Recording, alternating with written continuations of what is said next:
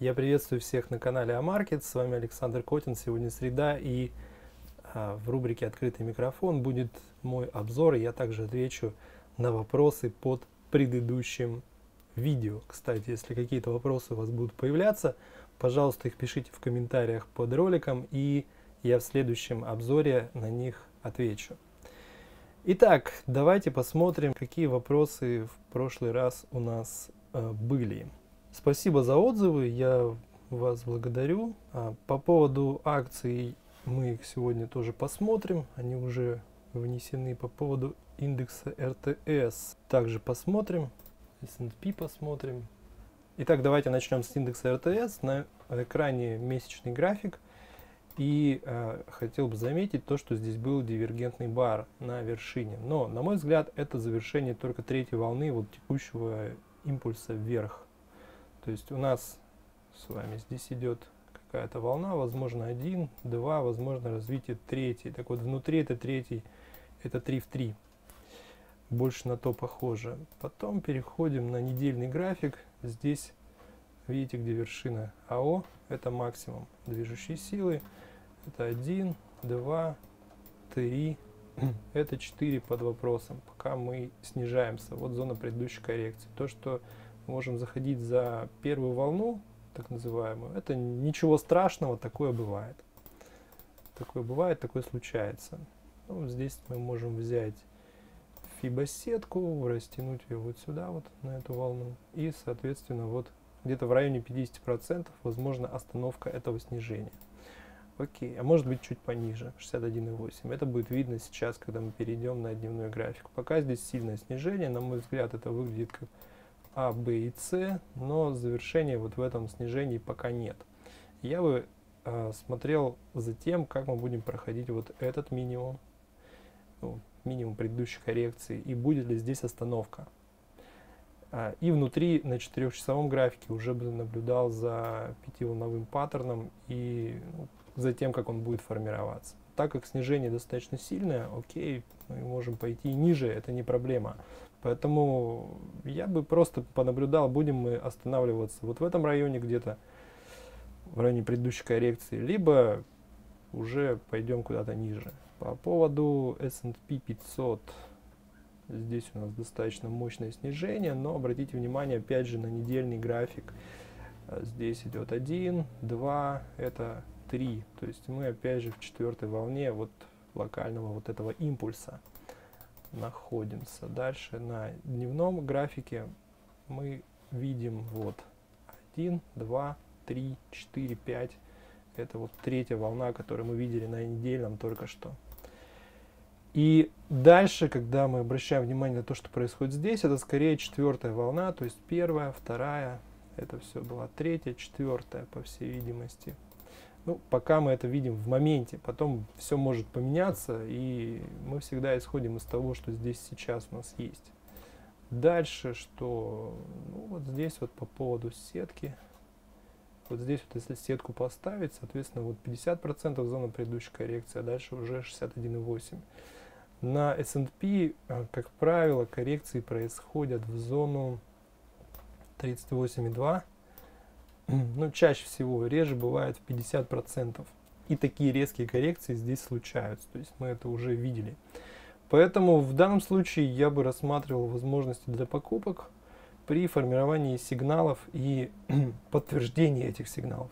Теперь давайте перейдем к валютному рынку. Итак, евро-доллар. Мы видим с вами бар, который закрылся в верхней половине на недельном графике. Это сигналом покупки не является, точно так же, как вот это все не особо является дивергенцией. Обратите внимание на то, как нарастает движущая сила в текущем, э, в текущем импульсе, который начался от 29 декабря.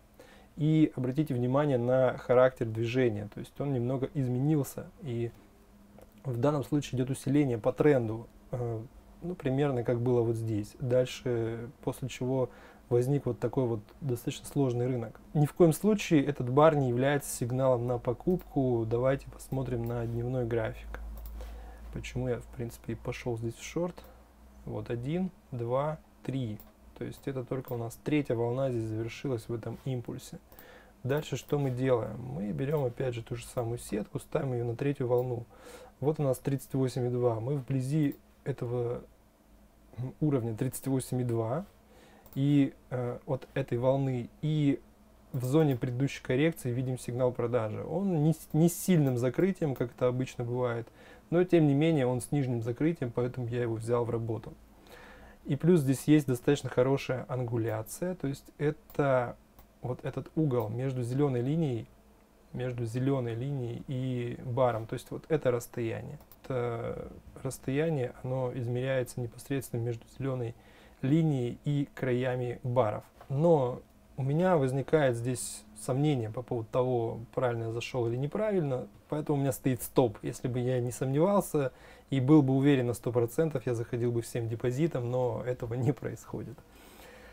Поэтому, как я говорю, невозможно быть успешным неудачником, поэтому мы ставим стопы, и поэтому мы понимаем, что мы можем в сделке получить убыток, и это нормально так должно быть. Дальше мы видим дивергенции здесь, и с какой-то точки зрения это может быть только волной А, но мы этого не знаем, мы просто видим сигнал, этот сигнал подтвержден дивергенцией внутри, он имеет ангуляцию, и в принципе здесь коррекции примерно одного размера, вот на это я тоже обращаю внимание. То есть характер рынка, он себя здесь проявляет. Потенциал развития этой позиции получается 26 к 91, ну почти 1 к 4, поэтому я взял ее в работу. Идем дальше. Британский фунт. На дневном графике мы образовали новый минимум. Это практически можно назвать дивергенцией, но если же вдруг здесь может произойти какое-то дальнейшее удлинение в волне С, то мы можем пойти ниже, поскольку обратите внимание на то, что на то, что на дневном графике мы пришли в 30, только в 38,2 и не дошли до, до минимума предыдущей коррекционной волны и фунт он чаще корректируется в 50%. Поэтому в данном случае это сложный, сложно торгуемая ситуация, я бы не стал пока ее брать, я бы под, предпочел подождать, пока она самоорганизуется. И в данном случае я бы обратил внимание на то, что здесь есть ABC паттерн, и отсюда мы можем снова пойти вниз, то есть вот таким характером рынка, как я его называю, возвратно-откатным. Вот так, то есть это на то походит потому что мы находимся как минимум в коррекционной волне. И то, что здесь есть э, дивергенция, это не помешает рынку пойти вниз. Дивергенция не является признаком завершения движения. Швейцарский франк на дневном графике, на мой взгляд, это может выглядеть как развитие вверх, 1, 2, 3, и вот четвертая волна. Что мы видим на а, четырехчасовом графике? Мы берем сетку, ставим ее, 38,2 здесь тоже есть бар с э, верхним закрытием, и он в стороне от линии баланса. То есть есть вот это вот расстояние между ценами и зеленой линией баланса. В книжках об этом, к сожалению, не пишут. В данном случае это точка входа с коротким стопом и отношением риск-доходность 18 к 80. То есть, ну, примерно 1 к 4 тоже. Дальше что? Японская иена, на мой взгляд, здесь мог завершиться импульс, очередной импульс в сложной коррекционной структуре, вот в этой, которая является волной B, то есть А, Б, и возможно развитие волны С, это очень большой вопрос. И э, в данном случае обратите внимание на то, что цена здесь резко ушла в сторону от линии баланса, и здесь был сложный рынок, как я его называю, возвратно-откатный. Поэтому в данном случае вот этот сигнал на покупку я бы брать здесь не стал. Очень резкое развитие вниз.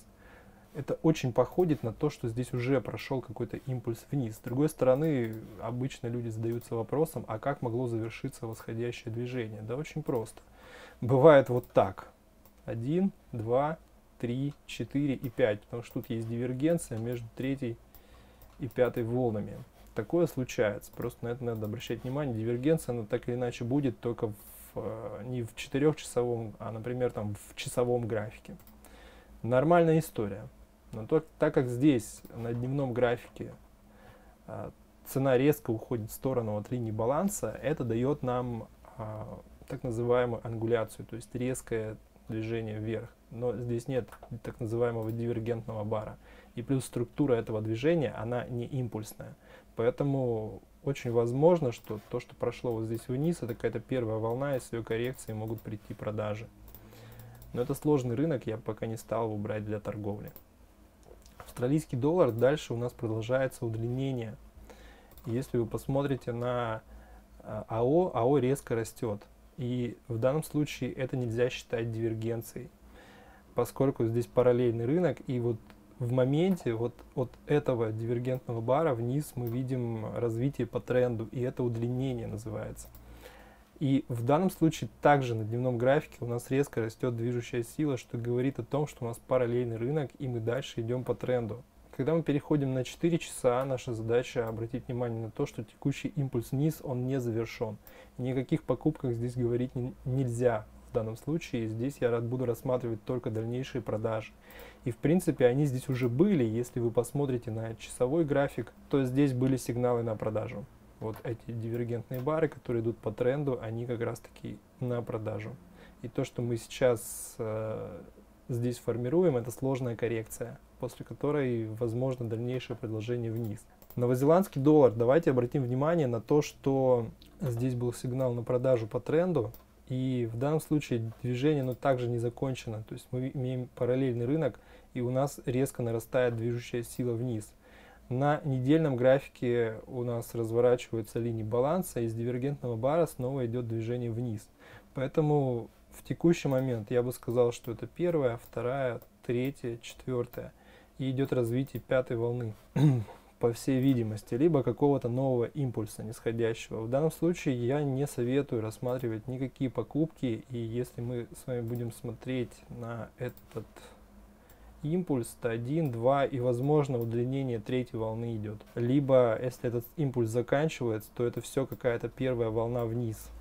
Это не принципиально, важно работать по тренду и непосредственно идти по тренду. Здесь нет завершения, это хорошо видно, и по, с большой вероятностью мы получим здесь новые минимумы. У нас резко растет АО. Канадский доллар в данном случае, ну, на абсолютно мой скромный взгляд, это развитие какого-то нового импульса вверх на четырехчасовом графике, на мой взгляд, это опять же 1, 2, 3, 4, возможно, развитие пятой волны, и это вполне может быть какая-то первая волна внутри этой пятой волны. И была до этого сложная четвертая. И вот только после обновления максимума мы можем говорить о том, что здесь завершится импульс, если не будет дальнейшего удлинения вверх. Золото в данном случае это пока выглядит как это пока выглядит как 1, 2, 3, 4, 5, но в настоящий момент мы здесь не видим дивергенции. Вот эта дивергенция не считается. Здесь резко растет АО. И в последнем движении видно, что это 1, 2, 3. То есть вот на этом баре завершилась только третья волна внутри пятой волны. Либо это развитие третьей волны. Обратите внимание на структуру рынка. Ну, потому что в книжках как минимум об этом не пишут, а здесь мы это прекрасно видим. Обратите внимание на то, как развивается движение вверх и какими э, барами оно идет. Оно идет вот таким движением, прямо практически вертикальным. Это характерно больше для третьей волны, и я не удивлюсь, если вот этот максимум АО, он уйдет выше вот этого максимума. Это нормальная история, нужно просто обращать внимание на характер рынка. Он даже вот в этом импульсе отличается от того, что было здесь. И отличается от того, что было здесь. Поэтому пока мы видим, что максимум движущей силы, он вот в этой волне. То есть мы ее можем считать третьей. Но потом вот эта циферка 3, она может переехать запросто вот сюда, когда вот этот максимум он перебьет вот эти все максимумы на АО. Такое случается в сильных трендах. Ну, с этим вы будете сталкиваться крайне редко, но такое будет. Даже на недельном графике АО может уйти выше вот этого хая спокойно.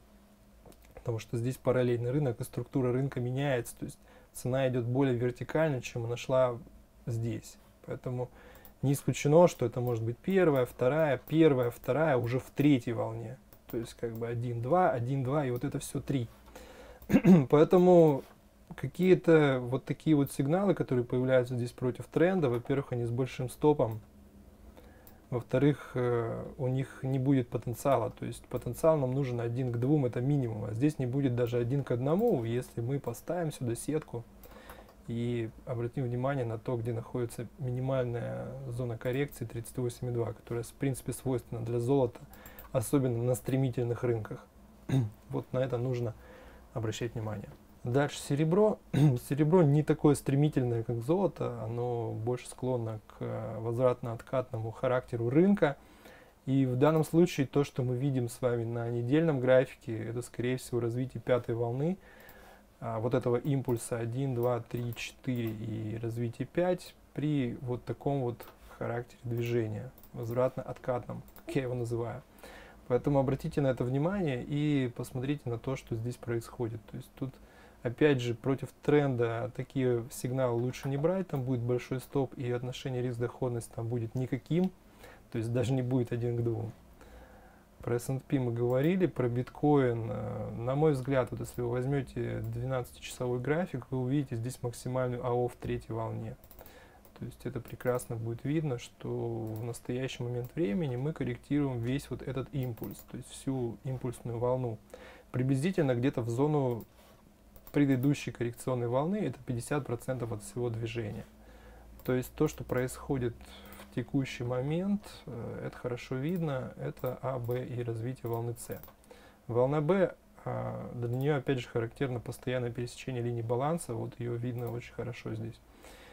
Поэтому, если брать глобальную картину, ну да, здесь был дивергентный бар на недельном графике, но он находится на пересечении линии баланса и АО. То есть такой дивергентный бар, он не является как бы действительным для того, чтобы говорить о том, что это сигнал какой-то. Это сигнал завершения какого-то импульса и развития коррекционной волны.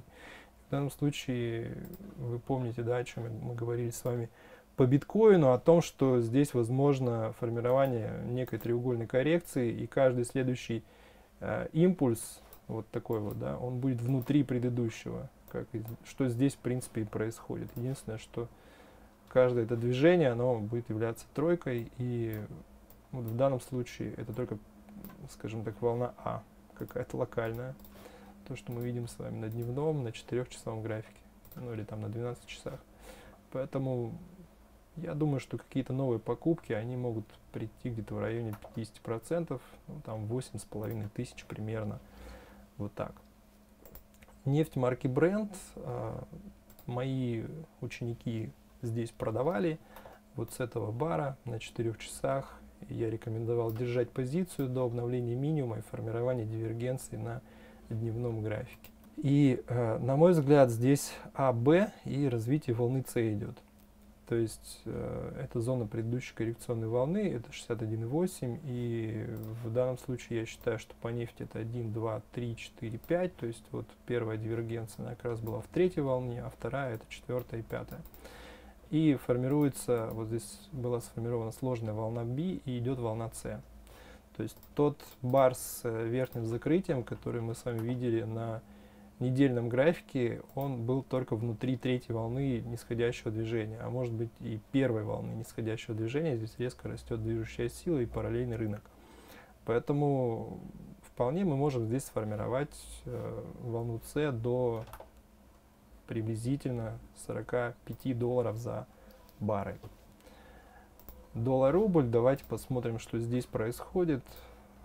В основном я на московской бирже торгую фьючерс на доллар-рубль. И в настоящий момент времени на что я бы обратил внимание? Я бы обратил внимание на то, что вниз, вниз, возможно, это была импульсная волна, то есть, возможно, какая-то волна А.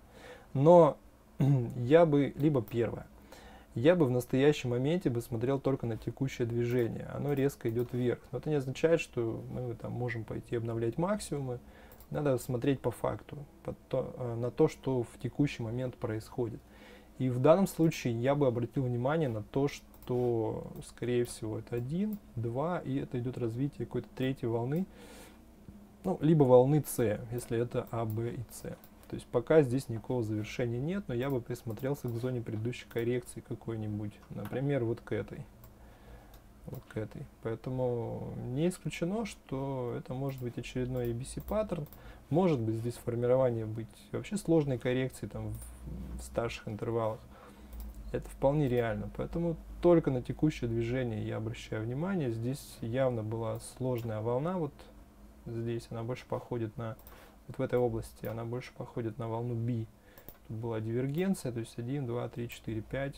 Либо А, либо там первая какая-то вверх. Посмотрим.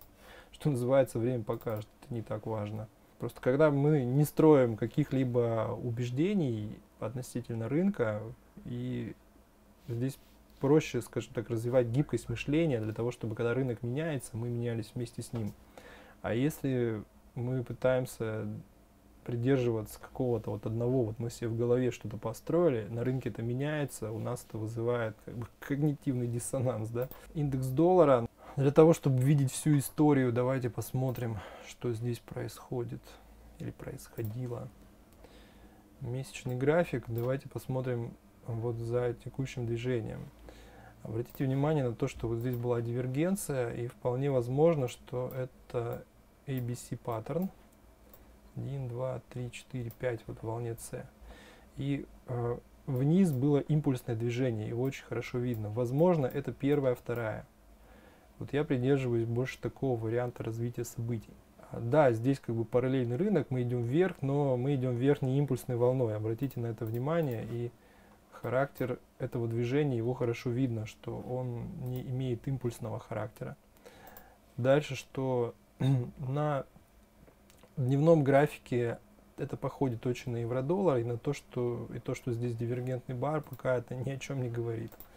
Поскольку внутри, опять же, видите, третья волна. То есть 1, 2, 3, вот 4. Очень возможно обновление вот этого локального максимума, а потом уже надо будет смотреть, закончится это все или нет. Идем дальше. C Apple, ну давайте ориентироваться на, то, на ту историю, которая в принципе у нас здесь есть. Это максимум движущей силы на дневном графике. Это означает, что то, что попадает в наше э, поле зрения, это 1, 2, 3 развитие четвертой волны.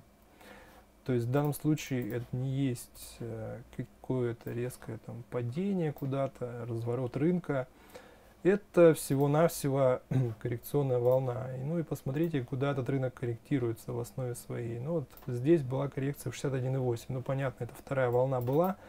Она может хоть в 100% корректироваться. Здесь развивается скорее четвертая волна, так же как на S&P 500. И зона предыдущей коррекционной волны находится в 38,2, где-то вот здесь. Поэтому вполне возможно, что опять же и по времени эта волна может здесь на какое-то время растянуться. Дальше Facebook. Обратите внимание на недельный график. Здесь есть дивергенция, и это уже вторая дивергенция в локальном импульсе. Переходим на дневной. На дневном более такой шероховатый рынок. Вот тут был максимум. И вот это можно считать дивергенцией. Вот это вот. То есть завершение вот этой волны. 1, 2, 3, 4, 5. А может быть и идет более глубокая коррекция относительно недельного графика. По крайней мере сигналов на покупку я здесь не вижу. И вполне возможно, что относительно месяца, вот давайте на месяц еще зайдем, относительно месяца тут могла завершиться пятая волна, но я бы не стал так считать, потому что здесь очень сильная тенденция, и скорее всего это только первая вот в этой самой пятой. Скорее всего, это только первая в этой самой пятой, поэтому вот зона предыдущей коррекционной волны, сейчас, я ее покажу на недельном графике. То есть вот она здесь. То есть тут надо лучше сетку растянуть на всю вот эту волну. И вот как раз таки видите, где 50% в зоне предыдущей коррекции. Поэтому, скорее всего, идет развитие коррекции вот этого импульса. И это только первая волна в пятой волне. Потому что на таких трендовых рынках по-другому быть не может. Дальше что у нас? Тесла. Ну, Тесла, она отросла очень хорошо, и, в принципе, мы ее с вами когда-то смотрели, я вам говорил о том, что там возможен дальнейший рост. Можете один из таких моих обзоров найти, когда мы были еще вот здесь. Сейчас открою месячный график и покажу. Вот здесь. 1, 2, 3, 4 и вот 5. Вот дивер между, соответственно, пятой и третьей волной внутри первой волны. Здесь была короткая вторая. Вторая, она идет по времени и цене достаточно быстро. И резко идет третья. Ну, третья имеется в виду уже вот, вот такая третья, э, вот этого порядка, то есть этой степени характерный для месячного графика. Далее, что у нас здесь был бар на покупку, он был в стороне от линии баланса, все это хорошо было видно, если вы с него не успели зайти, был фрактальный вход уже после пересечения линии баланса, именно только такие фракталы можно на прорыв торговать, с очень коротким стопом, который можно было поставить за минимум, вот под этот фрактал, ну, вероятно, на меньшем таймфрейме. Ну и все, и мы улетели вверх, и в данном случае это максимум АО, и тут никакого завершения еще нет. Это прекрасно видно на недельном графике. Тут есть дивергенция, вот видите, и мы ее можем увидеть по цене закрытия. Вот цена закрытия вот этого бара, экстремальный бар в данном случае, его тень не считается. И цена закрытия вот этого бара, она выше, получается, цены закрытия экстремального бара. Поэтому в данном случае это считается дивергенцией. Стоит открыть э, линейный график, и вы это увидите. И это завершение только третьей волны. То есть третий в третий. Вот один, два, три и вот это все. Точнее, один, два и вот это все три. Это все третья волна, и отсюда, соответственно, развитие идет коррекции. Ну и можно прикинуть, где примерно может коррекция завершиться. То есть вот на третью волну мы натягиваем сетку, ну, примерно вот так, плюс-минус. Вот уровень 38,2 по FIBA это минимальная зона для коррекции.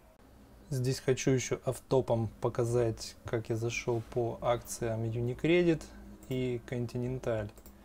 То есть, что у нас было здесь. Тут, был, тут была импульсная волна 1, 2, 3, 4, 5. Мы идем в коррекцию. То есть, потенциал этой коррекции, вот здесь, видите, два бара в одну точку практически бьются. Поэтому я по первому зашел, меня выбило, по второму я зашел, соответственно, я перекрываю все убытки, еще и получаю профит, так как это вход в коррекционную волну, примерно до зоны предыдущей коррекции, то в данном случае я не захожу двумя процентами, как я делаю это обычно, а захожу только одним процентом. И в данном случае потенциал развития достаточно серьезный, и сделку нужно вести по 4-часовому графику, либо по тому графику, где будет хорошо виден импульс, например, по часовому там и так далее. Также по континентале зашел в шорт, то есть по тренду был у нас хороший дивергентный бар. Вот здесь, вот он, я с него заходил и мы видим снижение, потенциал тоже до обновления минимума. Ну, если будут вопросы, пишите в комментариях. Также я хочу вас пригласить на мой мастер-класс. Мастер-класс я проведу завтра в 19 часов по московскому времени. На него необходимо зарегистрироваться. Ссылка есть в моем телеграм-канале. Адрес моего телеграм-канала собака fxcoach.ru. С вами был Александр Котин. До новых встреч. Желаю вам успешной торговли. Пока.